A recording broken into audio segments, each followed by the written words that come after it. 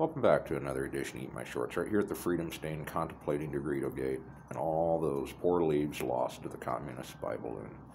what a tragedy, folks. In a moment of silence.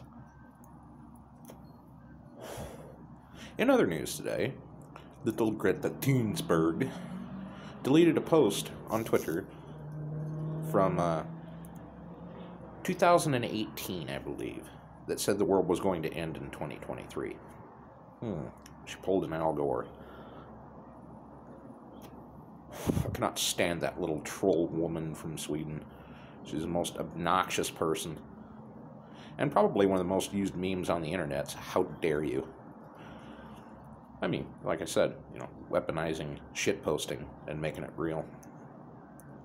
You know, I can't help but wonder about shit posting in history.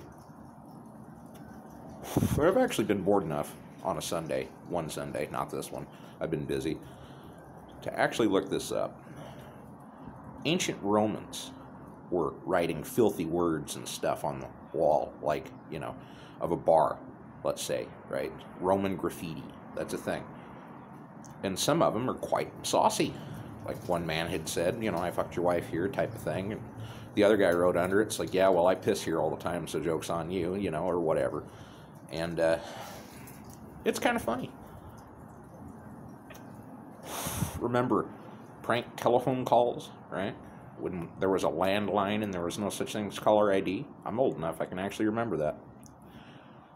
You know, and that kind of fun's going to be lost to an entire generation, you know.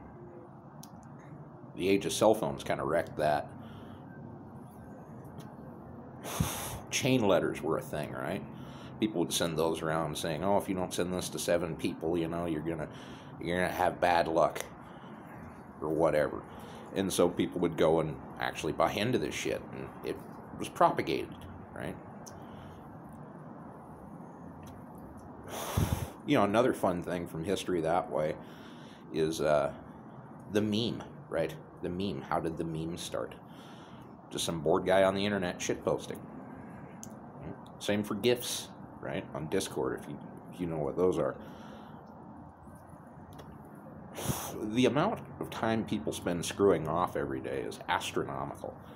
Now, I admit I'm a serial shit poster, and you know, makes it fun, but the level that this has reached for most people now, post COOF, has just like blown the glass ceiling off the building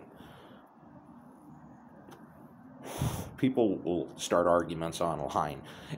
it's no end of excitement and fun, right?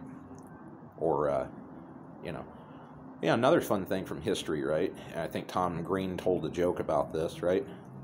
You know, all these teachers having sex with kids or whatever. But back in the day, there was such a thing called hot teacher, right? And every once in a while, you'd read in the newspaper. Yes, those were a thing. That uh, one got busted, right?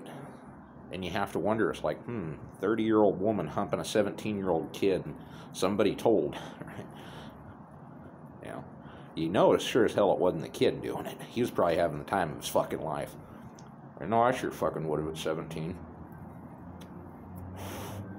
but back in the age when you had to take a Polaroid of your junk and then mail it in an envelope to somebody to have naughty phone time fun, right? You know, it took more effort than it does now. Nowadays, you just point camera down and snap a pic of the old trouser snake and send it to somebody's inbox or their text or put it online or whatever the fuck you do with it. I don't know. What's the point of all this? The point is, we as human beings spend so much time screwing around every day while we're doing our daily duties that it makes life fun. You know, some of us could be more productive, sure, but at the end of the day, you know, there's only so prepared we can be, and there's only so much shit we can get done. A lot of life's hurry up and wait. As always, if you don't like what I have to say about snapping pictures of our sausage and sending it through the mail back in 1974, you know, you can eat my shorts and have a fantastic day.